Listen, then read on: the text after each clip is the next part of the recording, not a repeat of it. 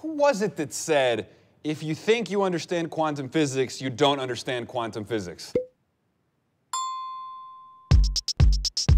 consciousness, intelligence, free will, determinism, black holes, protecting the planet from asteroids, Heisenberg uncertainty principle, atoms, ion traps, nuclear magnetic resonance, superconductors, photons, artificial intelligence, machine learning, past and future, classical physics, time travel. I mean, the whole thing.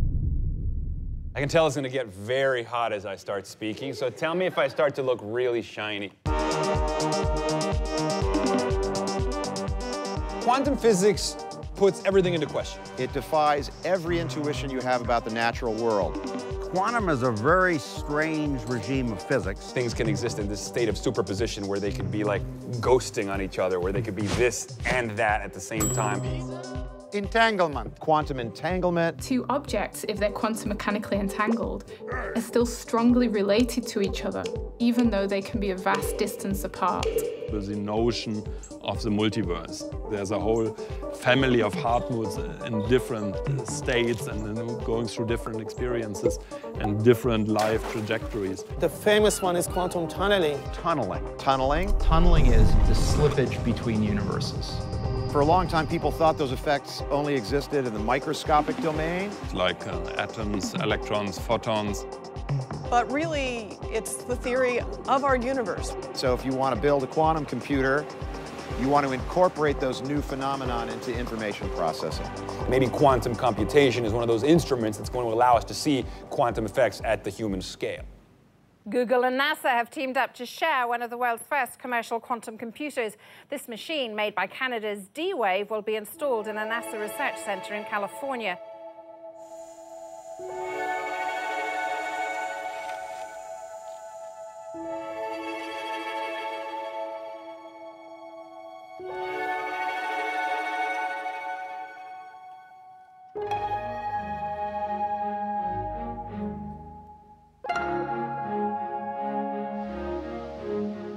This is the inside of uh, one of our dilution refrigerators. All of this infrastructure is to basically operate the chip at a temperature that's two orders of magnitude colder than interstellar space.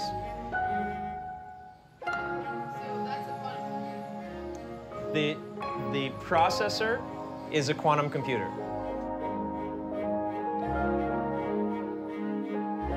It uses things called qubits, as well as being either one or a zero. A qubit can also be both at the same time, therefore bringing about a quantum leap in terms of power. Harnessing principles of reality that are, up until very recently, completely not observable by us is just fascinating in ways that I can't completely articulate the overwhelmingly obvious killer app for quantum computation is optimization. Optimization problems are, are extremely difficult problems. Actually, all Google server centers together will not be capable of coming up with the best solution to these optimization problems as they get larger. So now what is an optimization problem? Here, give you an example. You want to do a trip through South America and you want to visit a number of cities. And then you ask, what is the cheapest ticket I can get to visit, let's say, 20 um, cities? And you can, of course, different routes and, and different uh, airlines and sort of imagine I list all the different options I have for my different routes to travel to these cities. We currently, as a civilization, we generate vast amounts of data.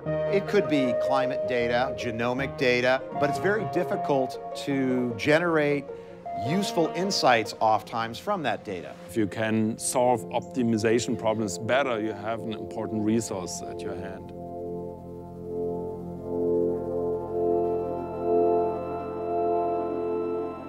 I think at least it teaches us that we shouldn't be naive about our world, that we shouldn't think about the world as a simple machine.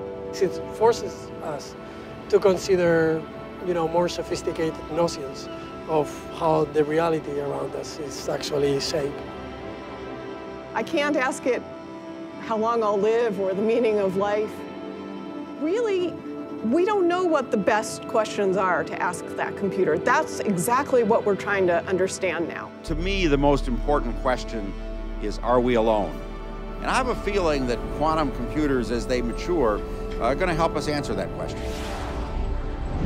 This is, of course, a more long-term research endeavor, and there are still tremendous um, obstacles and, and, big questions. Some of those will be addressed in D-Wave, some will be addressed at NASA, and some at Google. I wasn't sure I would be able to experiment with a quantum computational device in my lifetime, and now I'm confident that I will be able to. How amazing it is that we, with our monkey heritage and monkey brains and monkey fingers have somehow lucked into a brain that allows us to ask legitimate questions about the nature of physical reality. That's so cool. It's that human risk to go forth into that unknown frontier. Whether it's space exploration or quantum exploration, we do it because we must. We do it because that's what it means to be human.